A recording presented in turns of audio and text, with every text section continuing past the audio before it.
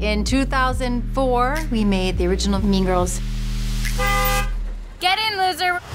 Over the years, I've realized that these characters and this story have had a much longer shelf life than anyone anticipated. Shut up! I didn't say anything. 20 years later, it's just as poppin' as it was when it came out. It's so iconic and so timeless. It's become such a part of all of our lives. Everyone knows the trio in pink. Those bitches.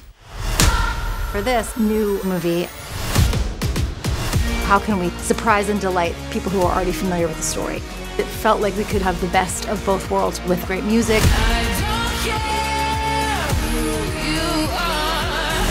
Look at this thing! New jokes.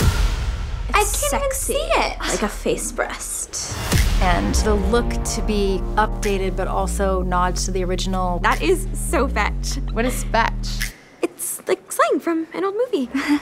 They nailed the comedy. I like your shirt. Thanks. smells like sausage from the last time I wore it. All of these characters are familiar. This fall, we will be getting into abstinence, condoms, and choking. But there are some twists. It's cool to see Mean Girls made for a modern day. It's hot. It's smart and it's funny. And it's really cool.